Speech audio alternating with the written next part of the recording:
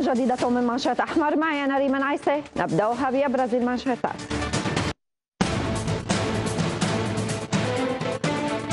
الكاظمي يتحدى الفساد والمفسدين سنواصل جهودنا رغم التهديدات المستمرة والعلنية للجنة مكافحة الفساد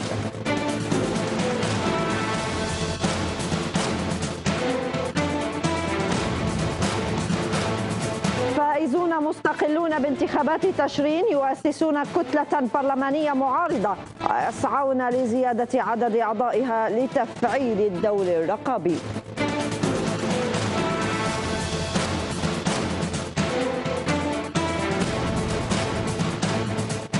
الجيش العراقي يواصل تطهير المناطق الحدودية بين المحافظات ويشرع بثلاث عمليات في ديالا وكركوك والأنبار.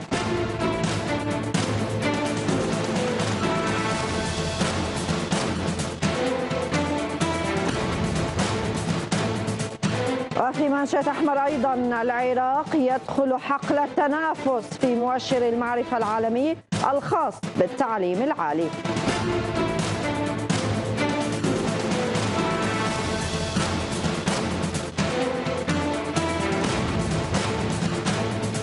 فرنسا تتحدث عن الاقتراب بسرعة من نهاية من نهاية طريق إحياء الاتفاق النووي بين إيران والدول الكبرى.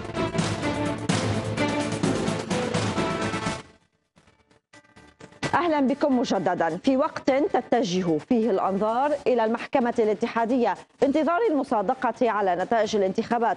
تسعى القوى المستقلة التي فازت بالانتخابات لتشكيل كتلة معارضة وتفعيل دور الرقابة داخل البرلمان العراقي الذي غاب طيلة 18 سنة ماضية. ليبرز هنا السؤال هل تستطيع القوى المستقلة أن تؤسس لمفهوم المعارضة السياسية الحقيقي للمرة الأولى خارج المنظومة الحزبية؟ نتابع التقرير. تدخل الكتل السياسية في العراق مرحلة حرجة يشكل فيها عامل الوقت عقبة في إتمام اتفاقاتها مع توقعات بمصادقة المحكمة الاتحادية على نتائج الانتخابات خلال نحو عشرة أيام بعد البت في الدعوة التي قدمها رئيس تحالف الفتح هادي العامري على تلك النتائج.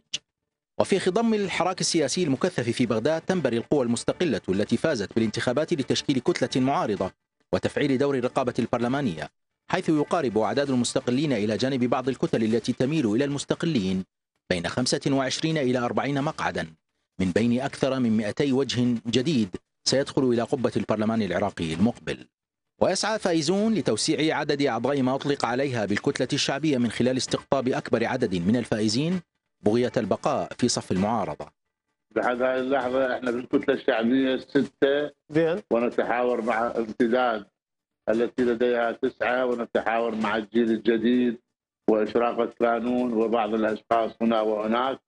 وعددنا سيزداد خلال الأيام القريبة القادمة ويقول مراقبون إنها ستكون المرة الأولى التي يتم فيها تشكيل كتلة معارضة حقيقية خارج إطار المنظومة الحزبية كما كان معتادا في الدورات البرلمانية الأربع الماضية. لكنها في الوقت ذاته ستواجه تحديات عدة تتعلق أولا بوجودها. مع إغراءات المناصب ثم بتأثيرها الرقابي قياسا بعدد أعضائها. ويبقى سؤال الأبرز كيف سيكون شكل المعارضة في الدورة البرلمانية الخامسة؟ أفتح هذا الملف مع ضيوفي الكرام أستاذ العلوم السياسية معي من بغداد سعدون الساعدي وأيضا المرشح الفائز حسين عرب والباحث في الشأن السياسي محمود خوشنا أهلا بكم وأبدأ معك حسين عرب يعني آه، ستؤسسون. يبدو أن حسين ليس جاهزا معي. أنتقل إليك سيد سعدون الساعدي. برأيك هل الجو السياسي اليوم في العراق والبيئة السياسية ملائمة لتأسيس مفهوم معارضة سياسية حقيقي؟ آه، بسم الله الرحمن الرحيم. أحييك أختي الكريمة وأحيي مشاهدي قناة شرقية نيوز الكرام. في حقيقة الأمر آه، هذه الانتخابات آه، لربما قد تختلف عن مثيلاتها السابقات لكونها أفرزت يعني بعض القيادات أو بعض ال ال ال الأعضاء المستقلين الذين يرمون يعني تخصيص يعني هذه الفترة النيابية لتنظيم معارضة حقيقية في البلاد ولكن يعني نعم. السؤال الأهم والأكبر آه، ما هي طبيعة هجوم يعني آه، هؤلاء المس- المستقلين الذين سيأتلفون فيما بينهم ويشكلون كتلة معارضه داخل البرلمان ما الذي تقصده بالحجم يعني حقيقة تقصد عدد المقاعد مقاعد المستقلين حجم سعد؟ لأن إحنا إحنا المعارضة المعارضة سيدتي الكريمة المعارضة في البرلمان آه، يجب أن تكون هنالك طبعا أغلبية حاكمة. وهنالك حجم معارضة قادر أن يؤثر على سير ال- ال- التشريع وعلى سير الحكومة، يعني أي بمعنى أدق لربما يكون أشبه بالثلث المعطل. أي بمعنى أدق هو يعني كلامه نافذ وحجمه آه، ثقيل بحيث يستطيع أن يؤسس إلى معارضة حقيقية. هل تستطيع هذه يعني الفئات الصغيرة الآن وهي الآن يعني تحاول لمام شتاتها. وتحاول أن ت- تأتلف بائتلاف يكون معارضة حقيقية، هل هل لديه القدرة وال- وال- وال- وال- وال- والنفوذ بحيث يستطيع أن يشكل معارضة حقيقية؟ أنا أقول إنها خطوة بالاتجاه الصحيح ولكنها ليست كافية، لأن هنالك في حقيقة الأمر من من يسيطر على على على النظام البرلماني في العراق هي الكتل السياسية الكبيرة نعم والتي أفرزت في الانتخابات يعني حقيقة يعني هنالك أحجام ثقيلة اللي هي كتلة سائرون عفوا التيار الصدري و. آه، يعني الكتلة السنية وال- والكرد يعني ودولة القانون هذه كتل كبيره ولديها القدرة يعني في نهاية المطاف أن تشكل أغلبية يعني يعني حكومية وتشكل الحكومة. وبالتالي من يقف قبالة هذه نعم. الحكومة يجب أن يكون هنالك ثقل يعني ثقل انتخاب برلماني حقيقي في الجانب المعارضة، أنا أقول هذا حديث سابق لأوانه، نعم هنالك تحركات، هنالك مناورات، هنالك اتفاقات. ولكن هذه الاتفاقات إلى الآن سعي لا أيضا من ترتقي قبل هؤلاء إلى- الأعضاء آه، المستقلين آه، سيد سعدون سأعود إليك لمناقشة هذا الموضوع أكثر. لكن دعني أرحب مجددا بالسيد محمود آه، خوشناو. أهلا بك سيد محمود مجددا في مانشيت أحمر. يعني أسماهم ووصفهم رئيس التيار الصدري بأنهم ولد الخايبة وكل طرف يسعى لضم المستقلين إلى كتلته إلى آه، آه، آه، رؤيته السياسية من أجل تقاسم المصالح وزيادة عدد أعضاء الكتل أو التحالفات. يعني لماذا هذه النظرة المستضعفة دائما على المرشحين المستقلين؟ وباعتقادك هل الانتخابات البرلمانية الحالية ونتائجها ربما كسرت هذه الصورة؟ ثقلتي علي بالسؤال. مرحبا ست ريما أهلاً وتحية بك. لضيوفك الكرام ومشاهدي الشرقية. يعني قبل كل شيء نحن نعلم ما هي طبيعة النظام السياسي العراقي سواء كان بمخرجات الانتخابات أو حتى بطبيعة تشكيلة النظام السياسي نعم. القوى السياسية الفاعلة في العراق بين هلالين عندما أقول الفاعلة أقصد القوى السياسية المؤثرة على القطاع السياسي الأمني العسكري وأيضا الاقتصادي وأيضا عمق تلك القوى السياسية، أنا سميتها في عدة برامج، هناك ثنائية شيعية، ثنائية سنية وثنائية كردية. الثنائيه الكردية متمثلة بالاتحاد الوطني والحزب الديمقراطي والسنيه بعزم وتقدم والشيعية بالإطار والتيار الصدري. طيب. هؤلاء الثنائيات الثلاث مؤثرات ولديهما عوامل كثيرة ومقومات كثيرة حتى يستطيعان أن يشكلان الحكومة ويواجهان المعارضة. بالمناسبة عندما نتكلم عن مستقلين ونتكلم عن معارضة هناك فرق بين مستقل ومعارضة لا يجوز أن ندمج المستقل بجبهة المعارضة لربما المستقل أن يكون في جبهة الحكومة ولربما يكون في جبهة نعم. المعارضة أما ولكن نحن المعارضة نتحدث عن تحرك للمستقلين اليوم يسعى لتأسيس لكتلة شعبية آه، يعني تسعى لدور لتفعيل دور الرقابة ودور المعارضة الذي غاب طيلة الثماني عشرة سنة معلوم الدور الرقابي والتشريعي ليس ليس يعني ملكا للحكومة وليس ملكا لأغلبية الحكومة داخل مجلس النواب العراقي وأيضا للمعارضه. نعم. الدور الرقابي أيضا لنواب الحكومة أيضا لديهم دور رقابي بمراقبة أداء الحكومي وأداء المؤسسات الدستورية. أما نحن نتكلم عن عن التحالف الكتلة الشعبيه التحالف الكتلة الشعبية المستقلة، نتكلم عن تحالف العراق المستقل، نتكلم عن تحالف من أجل الشعب الأخير بين آه، الجيل الجديد وحركة امتداد، هؤلاء التوجهات الثلاث لديهما لربما توجهات آه، آه، بدائية ولكن أعلن تحالف من أجل الشعب بانه سيتخذ جبهة المعارضه. أما الكتل الأخرى الثانية الثنائيات الأخرى ال- ال- نستطيع نقول آه، تحالف الكتلة الشعبية وتحالف العراق المستقل لم يحسموا أمرهم سيذهبون إلى المعارضة أم سيكونون في جبهة أخرى بتحالفات مع كتل سياسية عراقية أخرى ربما تكون في الحكومة. نحن نتكلم بالتبسيط يعني نبسط ال- ال- المشهد العراق في حال وجود معارض داخل مجلس النواب العراقي حتى وإن كان حجم هذا المعارض ليس ثلث المعطل كما قال الضيف الكريم نعم. حتى إذا حتى إذا لم يصل إلى هذا العدد بالتأكيد سيؤثر هناك الإعلام وهناك الرأي العام نعم. لربما المعارضة في هذه المرحلة حتى وإن كان عددها قليل ليس لا يستطيع أن يعطل البرنامج أو الخطوات الحكومية أو القوانين التي لا تصب في المصلحة العامة أو في وجهة آه، بالمعارضه لربما تستطيع أن تذهب إلى تفسير أو تحليل أداء الحكومي للرأي العام عبر قنوات نعم. التواصل الاجتماعي عبر التلفزيون وهذا ما يحرج السلطة، لذلك وجود معارض داخل مجلس النواب العراقي مهم جدا. حتى وإن كان عددهم قليل باعتبار سيحرج الحكومة أو على الأقل تمام. سيقوم خطوات الحكومية. ولكن السؤال المهم هو تفضل. تسمحي لي باختصار. السؤال المهم الذي سيطرح نفسه في المرحلة المقبلة هل العراق مقبل على نظام سياسي مستقر في ظل وجود معارضة وحك- وحكومة أغلبية؟ هذا السؤال المهم يجب أن يناقش قبل أن نذهب إلى قضية المعارضة وقضية أداء المعارضة آه، في مجلس النواب العراقي. نعم خليني آه، أرحب سيد محمود بالمرشح آه، الفائز حسين عرب أهلا بك حسين يعني كيف تنظر اليوم إلى مفهوم المعارضة وهل فعلا أن يعني اليوم المرشحين المستقلين بسعيهم لتشكيل كتلة شعبية آه، يعني تسعى لتفعيل دور الرقابة ودور المعارضة. آه، يستطيعون فعلا ذلك ويستطيعون آه، تأسيس ثقل سياسي يجابه الأحزاب التقليدية. بسم الله الرحمن الرحيم. تحية لك وإلى ضيف الكريم وإلى مشاهدين قناتكم الكرام. بالتأكيد ال- المرشحين أو الفائزين المستقلين آه، من الممكن أن يكونوا جبهة كبيرة وأعتقد طرحنا قبل فترة قصيرة جبهة تنسيقية للمستقلين التي تنسق عمل ال- النواب الفائزين المستقلين داخل قبة مجلس النواب العراقي ومن الممكن أيضا أن يكون هناك معارضة معارضة حقيقية ولكن هذه المعارضة منوطة بها الكثير من العوامل. هل هو الجو السياسي داخل قبة مجلس النواب العراقي مهيئ إلى أن يكون هناك معارضة حقيقية تعارض عمل الحكومة والحكومة تقتنع بان هذه المعارضة هي لمصلحة التقويم العام تقويم عمل الحكومة والمصلحة العامة. آه، إذا كانت المعارضة لغرض إسقاط حكومة أو لغرض وضع العصي نعم. في دواليب الحكومة في دواليب عجلة ال- الإعمار والعمل الحكومي هذا طبعا المعارضة مرفوضة. وإذا كانت المعارضة هي معارضة حقيقية تتبنى مشروع الرقاده الحقيقيه لعمل الحكومة هذا طبعا شيء آخر. يعني عذرا هنالك حقد على العمل الحكومي آه، طبعا مو ضد الحكومة ولا ضد نعم. المعارضة ولكن هنالك حقد على العمل الحكومي.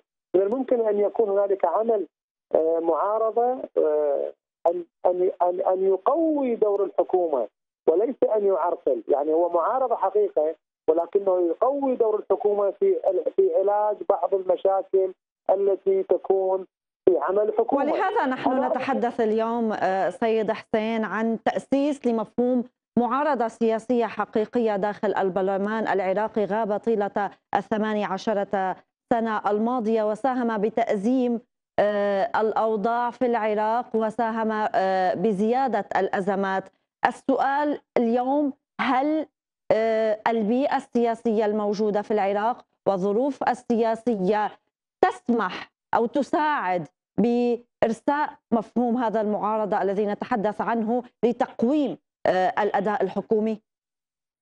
يعني سيدتي العزيزة يعني أكون صريح معك.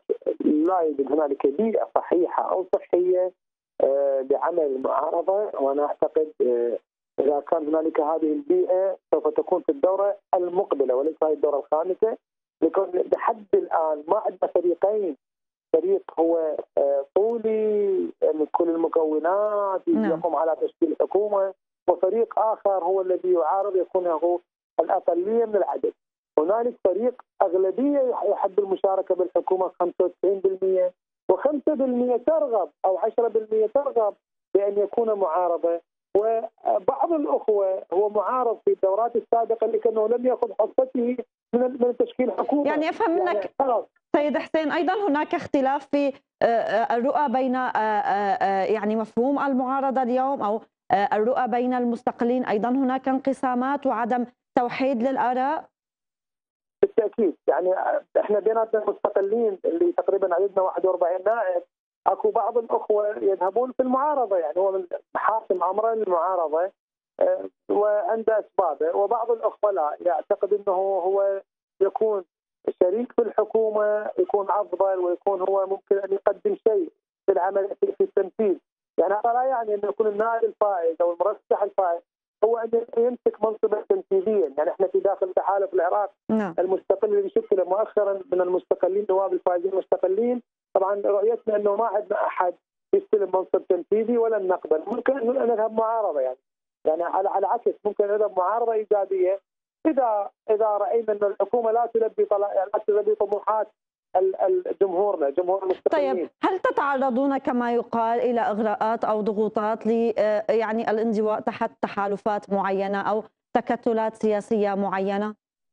طبعا هو أكو اغراءات لكل التحالفات مو بس فقط ان أو لكل النواب الفائزين مو فقط ان لكن بأمانة أقولها إحنا ما عندنا شيء يغرينا سوى عمل العراق والعراقيين فقط إحنا نحب أن من يكون له يصون آه، سياده العراق وأمن العراق ووحدة العراق ووحدة الصف العراقي نمضي معه بدون قيد أو شرط. هذا هذا الإغراء الوحيد اللي ممكن يقدمون لنا إياه الكتل السياسية الأخرى. ولن ننضوي تحت عباءة حزب معين. نعم. نحن تحالف مستقل ويكون تحالفنا مع تحالفات أخرى.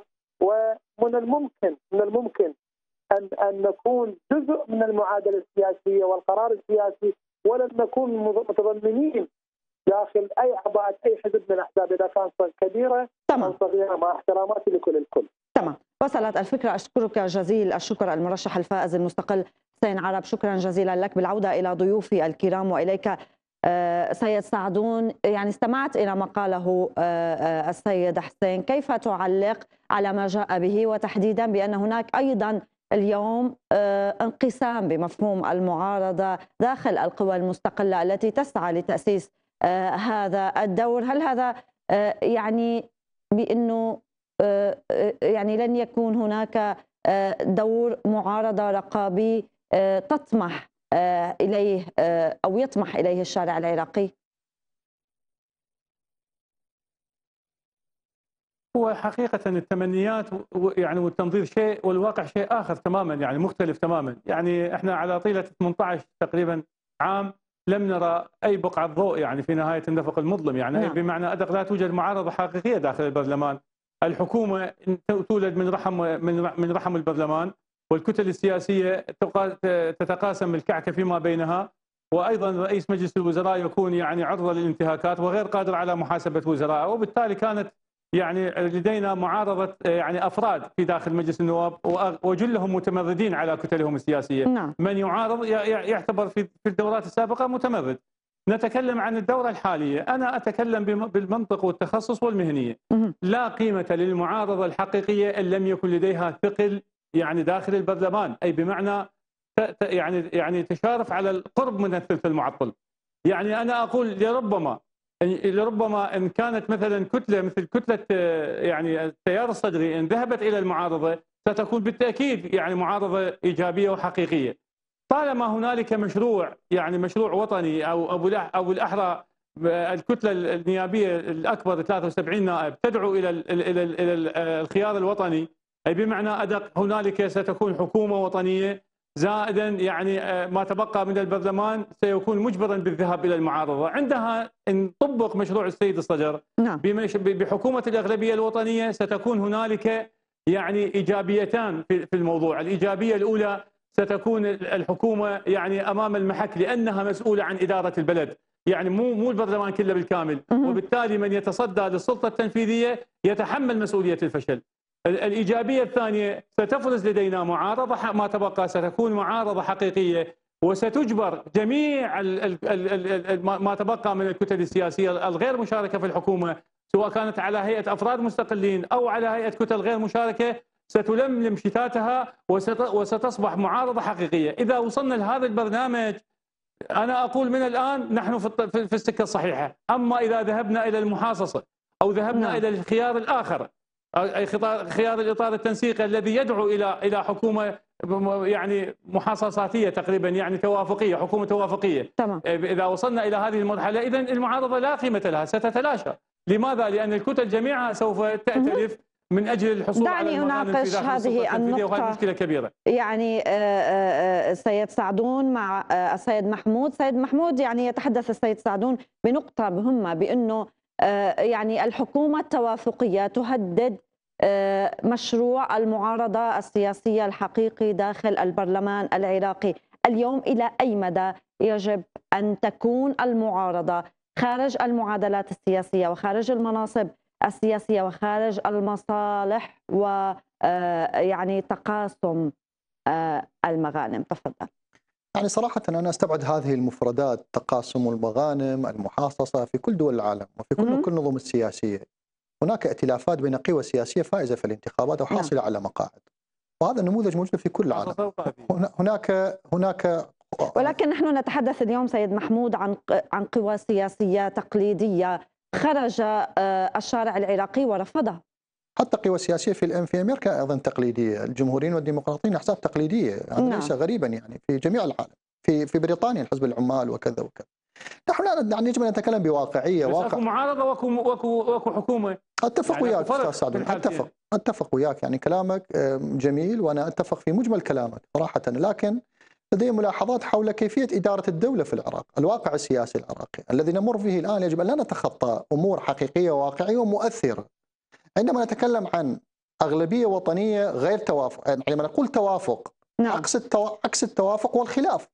لا يعني بال- بالضبط راح سوف نقول أغلبية وطنية خلافية أو أغلبية وطنية توافقية.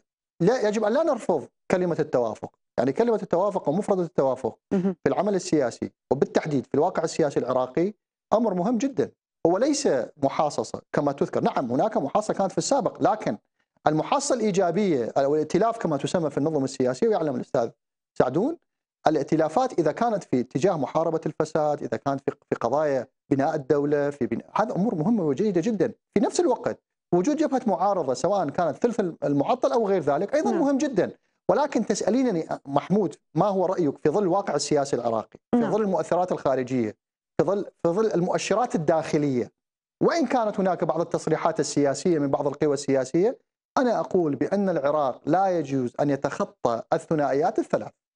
في حال تخطي وبالتحديد الثنائية الكردية والثنائية الشيعية، نعم في حال تخطي إحدى هذين الثنائيات الكردية والشيعة هذا في حال إن لم يكن هناك توافق في بين تلك الكتل. أي تخطي لأحدى هذه الثنائيات سينعكس سلبا على استقرار العراق.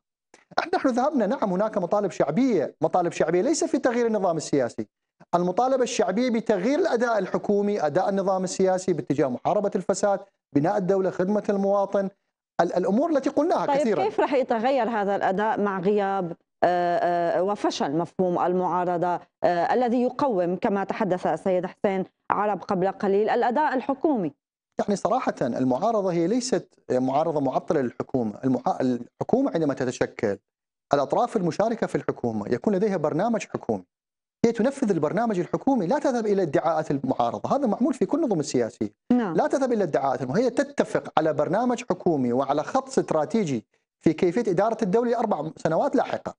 هي لا تذهب إلى طبعا المعارضة تذهب إلى الذهاب تذهب إلى إلى إلى رصد الأمور التي الحكومة لا تستطيع تنفيذها في البرنامج الحكومي اولا، ثانيا تذهب إلى الأمور التي لم تحقق في البرنامج الحكومي، ثالثا تذهب إلى نعم. الأمور التي لا تؤثر ايجابا على محاربة الفساد وكذا وكذا، هذا هو تمام. هو برنامج المعارضة، ان نتكلم بصورة عامة، أنا أقول لك باختصار سيد محمود أقول لك بأن العراق في المرحلة اللاحقة يتحمل معارضة ولكن لا هذه المعارضة لا تستطيع. أن تواجه الحكومة كما قلت في ظل وجود ثلاث ثنائيات. الثلاث لذلك يجب أن نتكلم عن معارضة وعن حكومة يكون يعني عن حكومة توافقية وطنية تت- تأتي بالعراق أو تثبت الاستقرار السياسي في العراق تمام. وبخلاف ذلك سيذهب العراق للمجهول خليني فقط أنتقل أخيرا إلى سيد سعدون، سيد سعدون كيف تعلق على ما قاله السيد محمود وهو يتحدث ربما بواقعية الوضع العراقي، تفضل. يعني هاي الواقعية ال- ال- ال- اللي نتحدث عنها يعني ما هي مأساة العراق. يعني هو من دمر العراق غير التوافقية؟ يعني في كل دول العالم يعني اليوم هسه حتى حتى بالدول العالم المتقدمة يكون حزب حاكم والحزب الآخر يكون معارض ويشكل حكومة ظل في نفس الوقت. يعني رقابة أداء يكون رقابي على الحكومة وبذات الوقت هو عنده حكومة طوارئ جاهزة إذا ما يعني انهزت الحكومة وتغيرت. إلا في العراق. إلا في العراق. هذا النموذج الهجين اللي ما موجود بالكرة الأرضية بتاتا ولا دولة في العالم يعني حكمت يعني حتى الدول يعني المتعددة الإثنيات المتعددة القوميات النموذج البلجيكي النموذج السويسري النموذج الهندي يعني ما عندهم يعني هاي مسألة التوافقية. لا مسألة حكومة حاكمة تتحمل مسؤولية وما وما يتبقى من البرلمان يشكل معارضة. نعم. لماذا المعارضة؟ المعارضة تكون إيجابية هي ليست معطل لأداء الحكومة. هي تثني عليها إن وترفدها بالطاقات إن كانت الحكومة ناجحة وبذات الوقت إن خرجت الحكومة عن الطريق أو تلكأت تكون هذه المعارضة جاهزة لتقديم رؤى، لتقديم أطروحات جديدة لإدارة البلد خلال الأربع سنوات القادمة. تمام. لماذا نحن في العراق نتكلم عن عن عن عن توافقية وهي شكل من أشكال المحاصصة المقيتة الموجودة في العراق؟ لماذا لا نتكلم عن فرس حقيقي أن تكون حكومة أغلبية وطنية كما دعا إليها التيار الصدري، حكومة يعني تتشكل من أغلبية طبعا. شيعية وأغلبية سنية وأغلبية آه، كردية. تتوافق في يعني آه، تتآلف فيما بينها وتشكل نعم. يعني آه، نصف زائد واحد داخل البرلمان. وصلت الفكرة. وما تبقى يذهب يذهب إلى المعارضة وهي ليست سبة وليست لعنة. على بالتأكيد. العكس أحيانا لربما تكون المعارضة يعني, يعني مثل المثل يقول في الليلة الظلماء يفتقد البدر. صحيح. ربما يعني حاجة ملحة ضرورة ملحة من ضرورات العمل الحكومي أن تكون هنالك معارضة حقيقية نعم. تستطيع تقديم يعني النصح والإرشاد للحكومة، أنا أبحث عن هذا المشروع، ما عدا هذا المشروع سوف نبقى في هذا النفق المظلم ولم نرى بقعة الضوء في نهاية المطاف. فكرتك سيد سعدون أستاذ العلوم السياسية سعدون الساعدي شكرا جزيلا لك والشكر موصول إلى الباحث في الشأن السياسي محمود خوشنا وشكرا جزيلا لكم.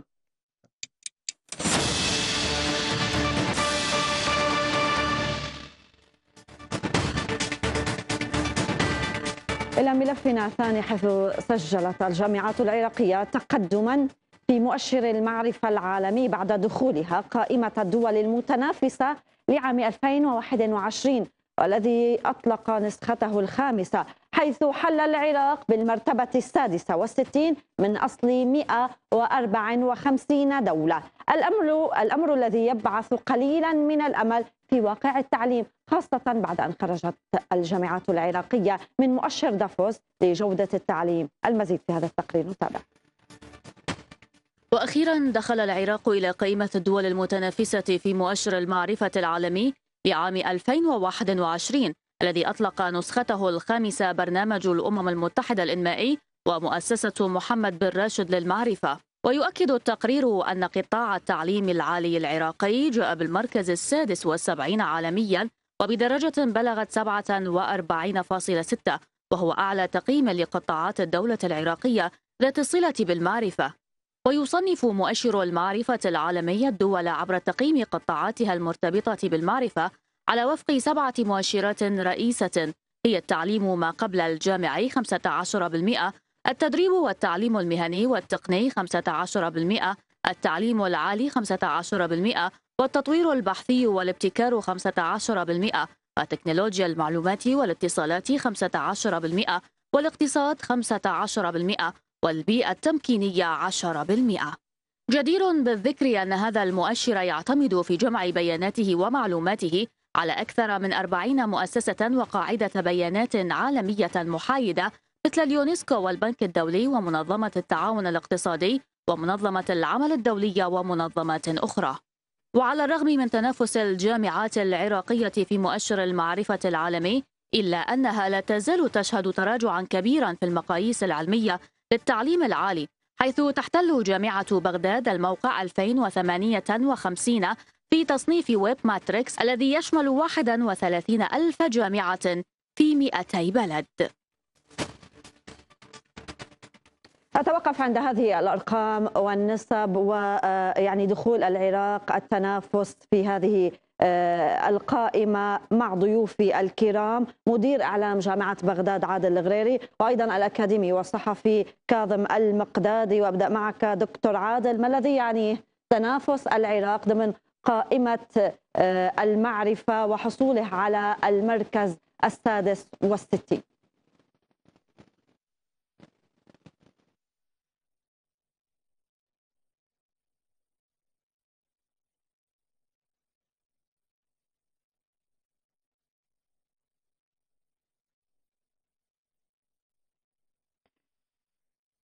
مع الأسف دكتور عادل آه، يبدو أن هناك مشكلة في الصوت. أنتقل إلى السيد كاظم المقدادي الأكاديمي والصحفي. أهلا بك آه، آه، سيد كاظم. يعني كيف تعلق على دخول العراق قائمة الدول التي تتنافس حول جودة المعرفة وجودة التعليم والجامعات؟ في حين كان قبل أشهر قليلة من هذه التنافس يعني خرج من مؤشر دافوس أيضا لجودة التعليم. تفضل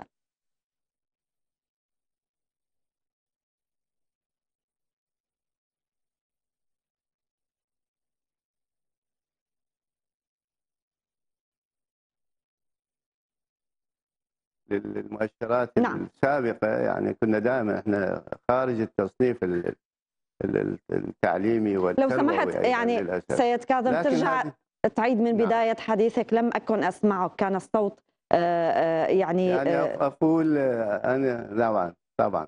حييتكم وحييت أهلاً بك. زميلي الأستاذ عادل الغريري.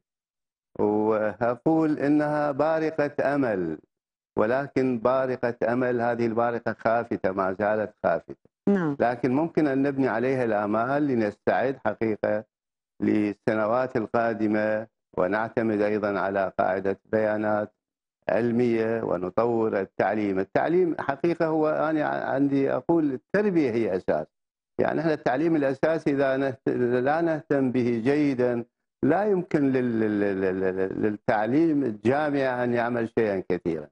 أنا أعتقد التربية هي الأساس التعليم الأساسي هو هو هو هو يجب أن يكون هناك. تكون هناك مجهودات علمية وتربوية كبيرة جدا. وأن تكون يعني للأسف إحنا ما زلنا ما زال الطلاب كثير من طلاب العراق لا زالوا يجلسون على الأرض بدون رحلات.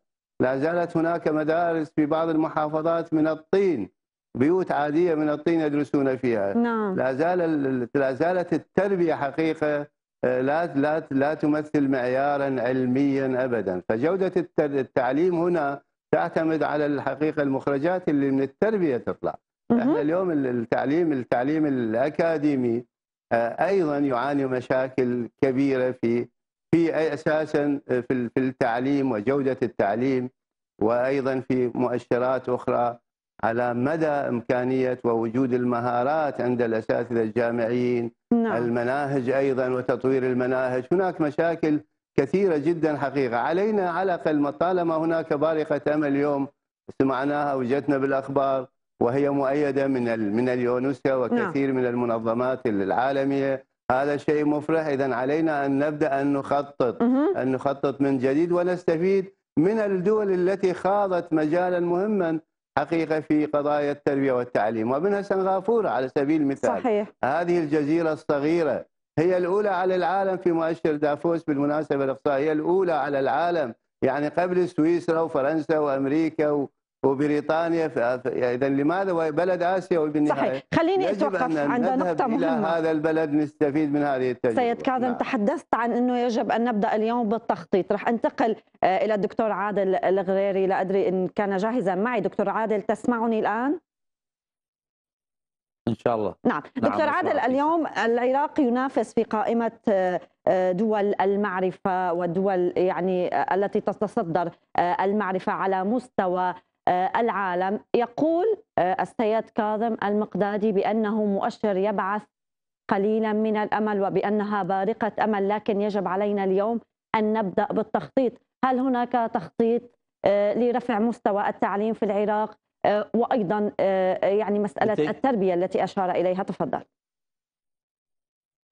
بالتأكيد اليوم آه، بارقة الأمل اللي ظهرت آه، اللي ظهر بها العراق في مؤشر المعرفة العالمي بنسخته الخامسة الذي أطلقه برنامج الأمم المتحدة الانمائي مع بالتعاون مع مؤسسة محمد بن راشد نعم. آه، والتي ظهر فيها العراق آه، بالمرتبة آه، بشكل عام هو ظهر متاخرا بالمناسبة هو ظهر بالمرتبة 137 من أصل 154 دولة نعم ولكن المؤشرات سبع مؤشرات يعتمد هذا التصنيف.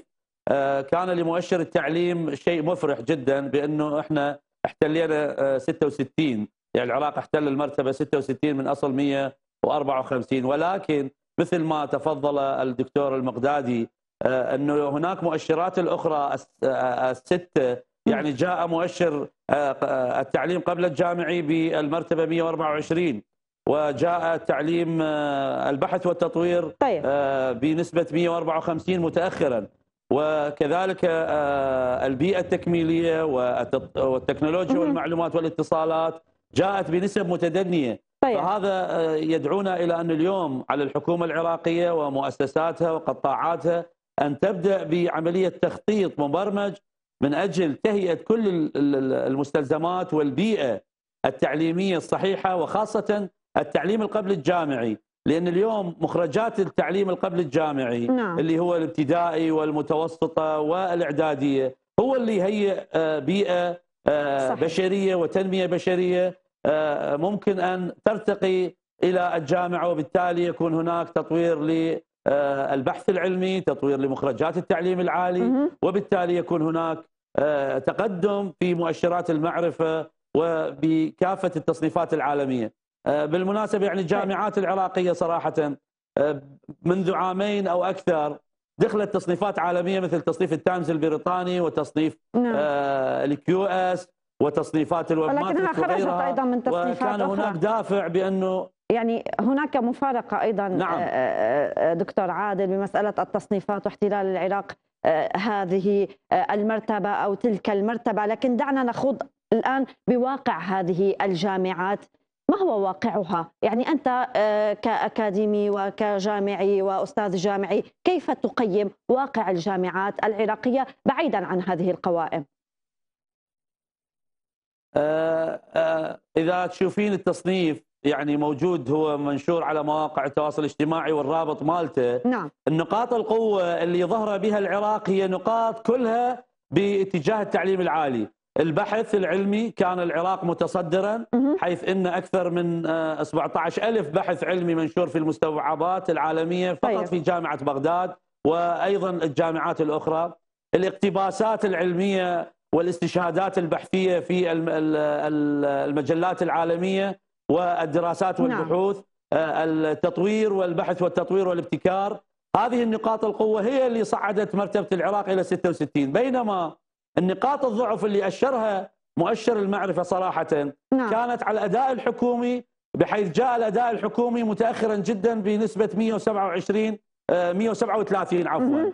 بينما التنمية طيب. البشرية آه، محور التنمية البشرية كان العراق 26 من أصل 27 دولة هي مفتقدة لهذا الموضوع ف يعني اليوم نحن أمام تحدي كبير. باختصار. الجامعات العراقية صراحة باختصار يعني يعني هناك مقتضبة. خطط. قبل أن أنتقل إلى الأستاذ كاظم آه، آه، يعني خلاصة هذا الموضوع ما هي واقع الجامعات العراقية؟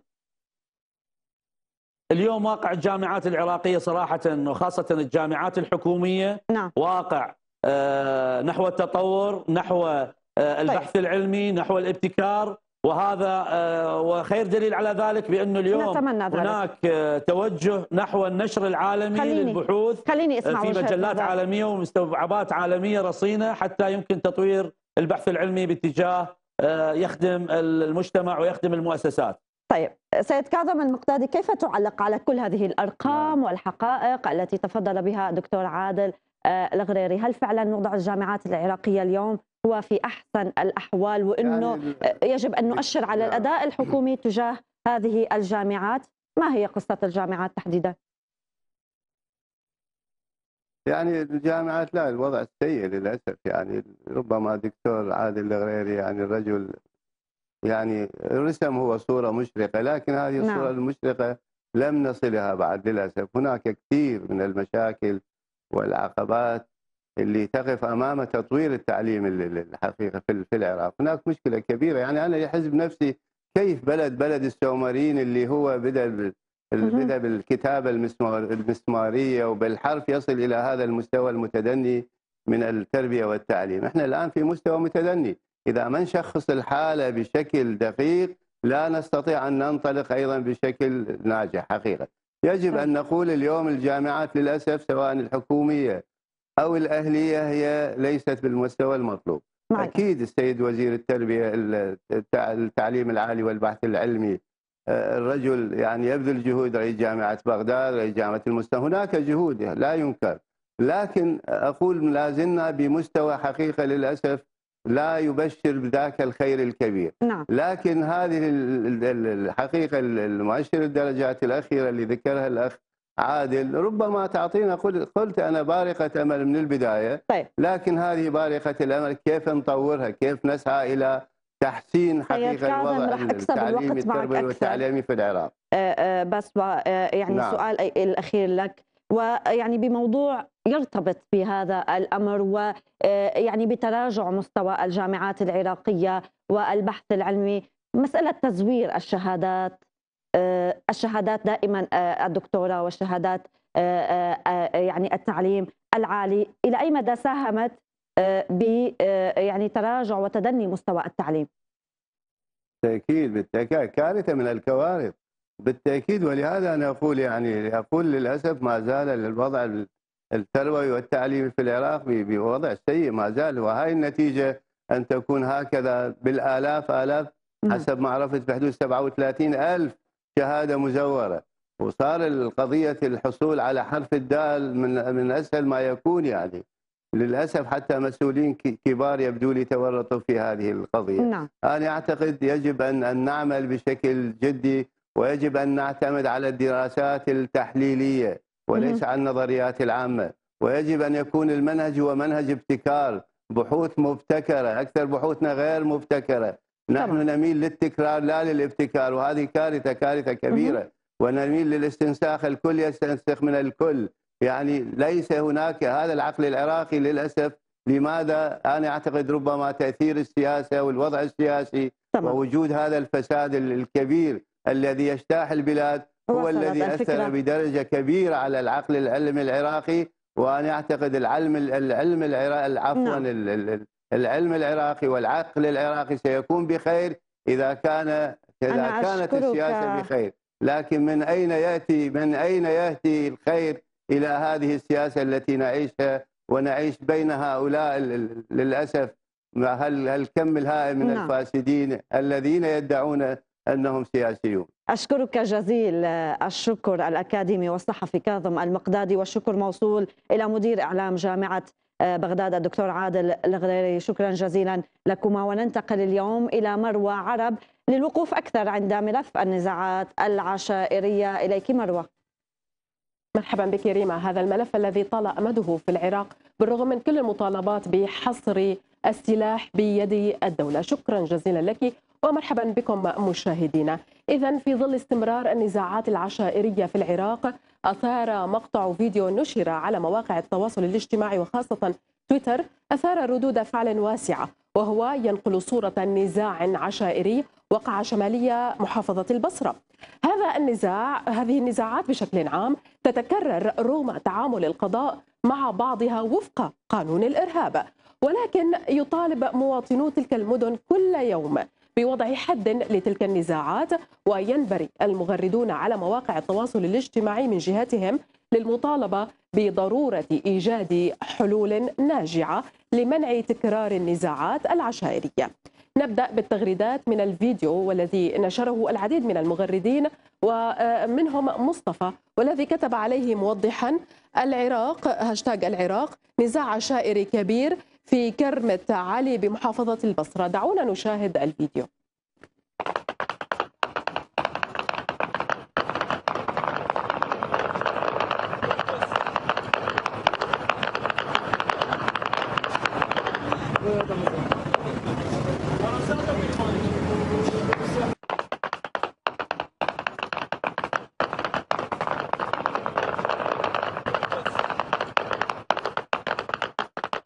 إذا هذا هو الفيديو الذي انتشر على مواقع التواصل الاجتماعي والذي يعني كل فترة نرى فيديو مشابه لهذا الفيديو يعني ويستخدم ملاحظ أنه يستخدم فيه السلاح الثقيل. مرتجى قال معلقا على هذا الفيديو هذا احتفال بمئوية الدولة عيني. طبعا هو يسخر من هذا الواقع الأليم.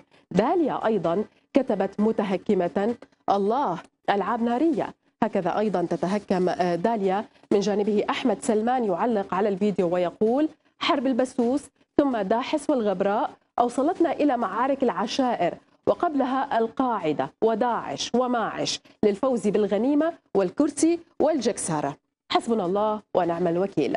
مشاهدينا نفتح هذا الملف مع ضيفنا الناشط المصري كريم سيد مرحبا أو عفوا علي كريم مرحبا بك. سيد علي. اذا يعني هذا الملف الذي طال أمده في العراق لماذا لا تستطيع الحكومة حتى الآن الحكومات المتعاقبة لا لا نلقي الملومة على حكومة معينة؟ حتى الآن لا نستطيع السيطرة على هذه النزاعات ويعني حصر السلاح بيد الدولة هذا المطلب المتجدد دائما. نعم تحية لك. عزيزتي لكل مشاهديك الكرام. مسألة النزاع العشائري مسألة معقدة جدا. يشهد العراق تقريبا بعد 2003 في المناطق الجنوبية. رأس هذه المحافظات حسب الإحصائيات الأخيرة هي محافظة البصرة. لو ننظر إنه تصدر نعم سيد علي. فتره ما أعرف الصوت تسمعيني؟ نعم تفضل. أي الدقه العشائريه تعتبر اربعه إرهاب وأيضا من يمارس أو يساهم بأدية يمنع منه الحصول على وظيفة حكومية، مع ذلك استمرت هذه هذه النزاعات إلى هذا اليوم، أيضا جانب آخر بأنه حجم الذخيرة هي مكلفة جدا وان الأشخاص اللي يقومون بعمليات عمليات النزاع هم ناس من الطبقة الوسطى، اذا المشكلة هي أكبر من مسألة إنه فرض القانون أو مسألة السلاح المشكلة يدخل يدخل فيها الجذر الاجتماعي في هذه المدن مشكلة أيضا اقتصادية. آه عملية حل هذه الأزمة تحتاج إلى آه استنفار مؤسسات الدولة بشكل عام. آه الاستنفار اللي يدخل في الجانب الاقتصادي والجانب الاجتماعي والجانب السياسي. نعم. لأنه ما دمنا نشاهد بأن هنالك قانون وهنالك تشريعات. قوانين نعم سيد علي.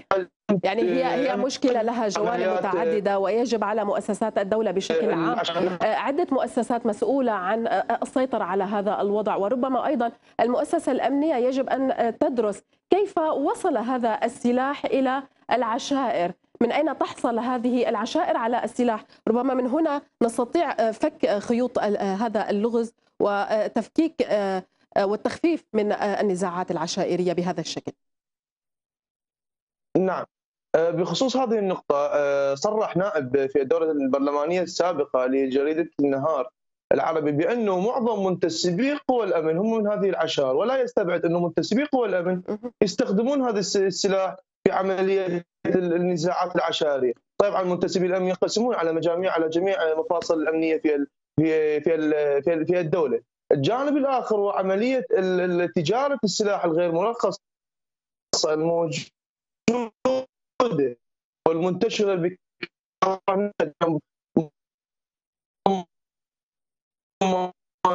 محافظات العراق تهريب السلاح إلى داخل العراق. هذه واحدة أيضا من المشاكل الأساسية لعمل لا ننسى أيضا بعد انهيار النظام السابق 2003 كل المؤسسات الأمنية آه، تم سرقة سلاحها من قبل المواطنين. الذخيرة موجودة عفوا الأسلحة موجودة إلى الآن ومجرد الاحتياج إلى الذخيرة. قوى الأمن أو المؤسسات الأمنية المفروض أنه تتخذ إجراء آه، رادع وإجراء قوي. آه، للأسف كل الإجراءات هي بسيطة. آخرها كانت عمليات التفتيش. عمليات التفتيش اللي هي عبارة عن عشر قطع أسلحة لا أكثر في محافظة البصرة قائد الشرطة السابق. يقول إنه في البصرة يوجد أكثر من فرقتين عسكريتين من الأسلحة في عمليات التفتيش لا نجد لا نشاهد أكثر من من 30 قطعة في في في عمليات التفتيش، هذه المشكلة الأساسية أعتقد إنه واضحة المشكلة الأساسية والخلل وين؟ الخلل في إجراءات الأجهزة الأمنية، الخلل في إجراءات الحكومة وبالتالي هذا التمادي لا زال مستمر نعم. سيد علي على المستوى المجتمعي والتي أشرت إليها منذ قليل هذه جزئية كيف لنا الوصول إلى يعني عقلية المنتمين إلى هذه العشائر والذين يؤمنون بما يسمى بالدقه العشائرية ويعني جعلهم يحلون نزاعاتهم عن طريق الدبلوماسية والحوار ويعني الاجتماع بين الأطراف المتخاصمة بدلا من هذه المظاهر التي نراها بين الفينه والأخرى. آه نعم إحنا بس خلينا نعرف السياق اللي يصير بخصوص النزاعات. هي آه، يعني هل في أي مرحلة تعتبر آه، الدقة العشاريه موجودة؟ الدقة العشاريه في الحقيقة مو من أول عملية يعني هي مو أول عملية آه، صراع أو صدام بين الجهات المتنازعة، هي تجي بعد ربما بعد تفاوض أو جلسات عشائريه تصير بين الطرفين. الإشكالية الأكبر وين؟ إنه هذه المواطنين يشعرون بأنه القانون غير قادر على أخذ حقهم في حال لو تعرضوا لأذى من مجاميع معينة، بالتالي يلتجئون إلى العشيرة. هذه احد واحدة من الإشكاليات الجوهرية، بالتأكيد آه، ال- ال- العشائر تلتجئ إلى الطرق الدبلوماسية في بعض الأحيان، ما يسمى بالقعدة والعطوة وغيرها من هذه التفاصيل. أو الهدنة أيضا،. هذه تفاصيل تدخل ضمن سياق التفاهم بين الطرفين، لكن الوصول لعمليه الدقة العشائرية إلى عمليات القتل هذا معناه انه كل الطرق مسدودة. والقانون بهذا الوقت آه، هو أيضا القانون يساهم بهذا الموضوع. يعني نشهد في بعض الأحيان إنه رجال الامن آه، ينصحون المشتكين بالذهاب إلى العشيرة. نعم. وانه إنه يسقطون حقهم. أو في بعض الأحيان آه، يتم الدفع بإسقاط الدعوة القا- القانونية والاتجاه إلى العشيرة لأجل الاستفادة المادية. تعرفون هذا فصول وملايين من الدنانير هذه كلها آه، مبالغ آه، بالقانون ما راح يستفاد الشخص المجني عليه. هذه عبارة عن بعضها يدخل به ضمن تجارة بعض الناس تعيش على هذه الأزمات بالحقيقة. أكو عوائل تعيش على هذه الأزمات أزمة ال- ال- الفصل الموجود حاليا خاصة في محافظات الجنوبية. نعم. نعم شكرا جزيلا لك سيد علي كريم وأنت الناشط البصري. كنت معي آه، عبر سكايب والشكر الأكبر لكم مشاهدينا. عودة بكم إلى ريما. شكرا جزيلا لك مروه لمتابعه هذا الموضوع. بهذا مشاهدينا نكون وصلنا إلى ختام ملفات منشات أحمد لهذا اليوم. موعدنا يتجدد يوم غد. إلى اللقاء.